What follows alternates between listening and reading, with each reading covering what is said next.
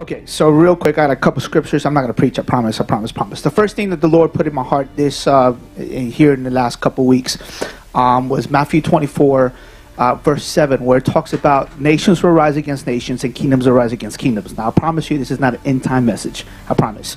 And I heard the Lord said, "Get ready, ecclesia, because you're about to see the kingdom of God being established in the earth. And what you're going to see is you're, you're already seeing it. You're seeing the kingdom of Satan rising up. At the same time, the kingdom of God, which is the ecclesia. You'll begin to, you'll, well, we talked about this at home.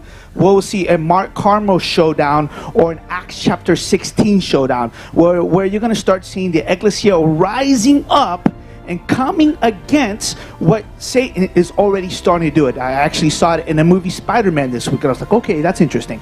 Okay, and two more scriptures. Isaiah 22, 22, where it talks about the key of David in Revelations chapter 3, verse 7, where God, I, I just really feel like the Lord is going to start giving, this is a release of keys. God's going to begin to start releasing keys to the ecclesia, what He's going to open, He's going to allow you to open up certain things in the territory, but He's also going to allow you to close certain things in the territory, such as demonic portals. I see like I, I, see the ecclesia just stepping into different territories and using the keys that God has given you, the key of David, to close out the demonic portals that has been established through witchcraft, and us as an ecclesia closing those demonic portals, but also opening up the portals of worship, where worship and prophetic uh, decrees and and prophetic declarations are just being released through worship, through praise, through through uh, shout, just just like Second Chronicles chapter 20, verse 20, where they release